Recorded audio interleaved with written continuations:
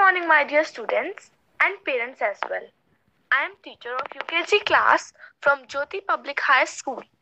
Today, I teach you subject GK. So, let's start question answers of GK. Question number one What is the name of your principal? Answer Mrs. Madhu is our principal. Okay, students. Now, let's start question number two. In which class do you study?